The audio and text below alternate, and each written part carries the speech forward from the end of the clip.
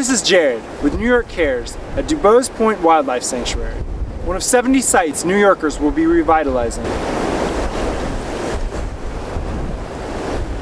Dubos Point Wildlife Sanctuary is part of the larger Jamaica Bay ecosystem.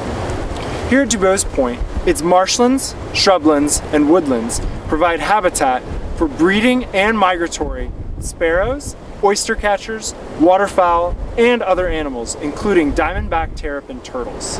One of the major issues facing Dubos Point is trash and litter. Trash from New York City finds its way to this habitat and gets stranded here.